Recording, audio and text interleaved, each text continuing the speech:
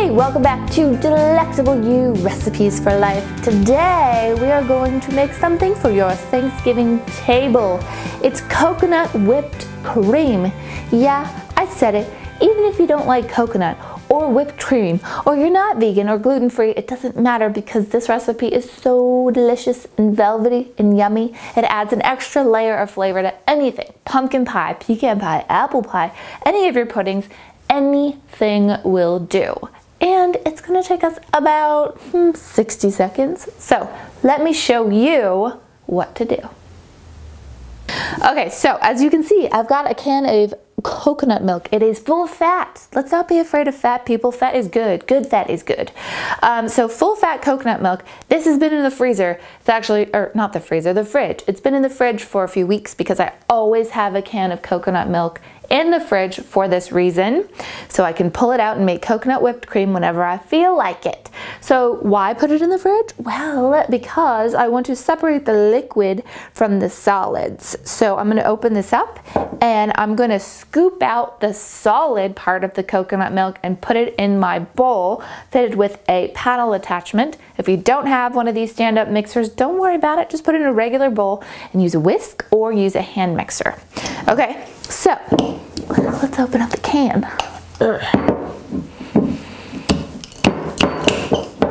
Okay, this unsuccessful opening of the can. Oh, there we go.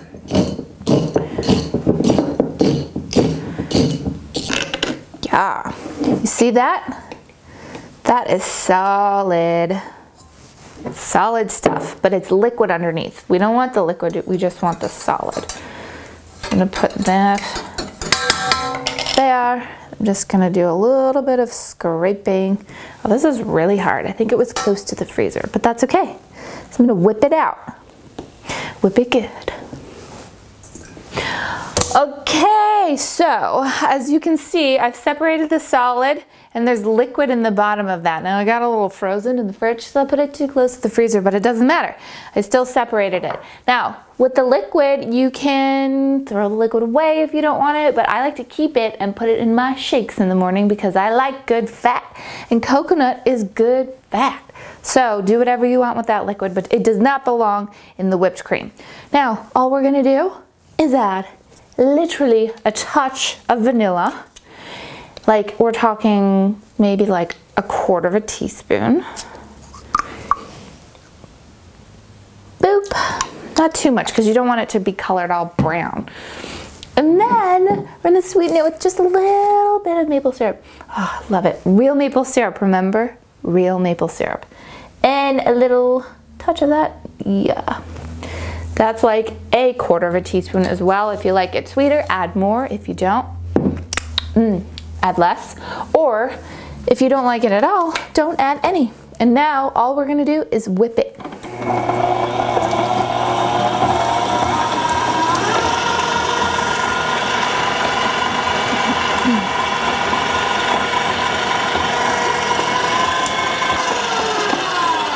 All right, so that's gone for like 20 or 30 seconds. I'm just gonna scrape down the bowl and make sure we got everything. Now this isn't gonna whip up like regular whipped cream because um, it doesn't have all the milk fats in it.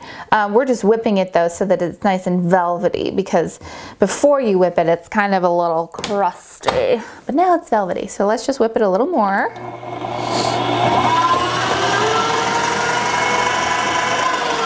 All right, that's it. That, that literally took us 60 seconds once we had everything in the bowl. Look at that, isn't that great? And it tastes so, so, so good. And now I'm not usually a fan of coconut, but I have to say I love coconut whipped cream. I'm even have a let, mmm, mmm, mmm, mmm, so good. So add this to your Thanksgiving table. Everybody's gonna love you. Serve it with your pumpkin pie or any of your pies or your puddings and even for those healthy people at your table, you can serve this with a bowl of berries and they will just love you for it. So that's it. That's all. Enjoy your Thanksgiving. Enjoy your whipped cream. Thank you so much for joining me. This has been Lauren with Delectable You and I hope to see you again next time.